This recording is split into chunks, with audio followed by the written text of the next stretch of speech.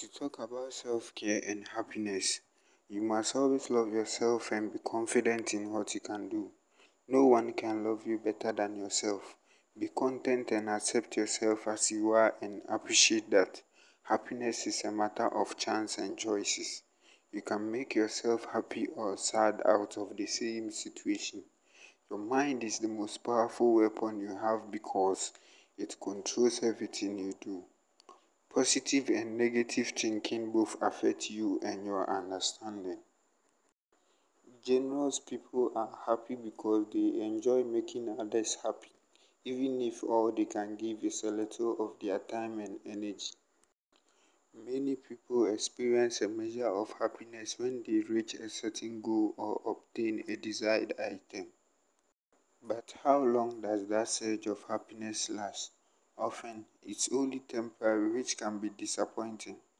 Happiness has been described as a state of well-being that is characterized by relative permanence, by emotions ranging from mere contentment to deep and intense joy in living, and by a natural desire for it to continue. How adorable it is to have that someone in your life that can put a smile on your face even if they are not around.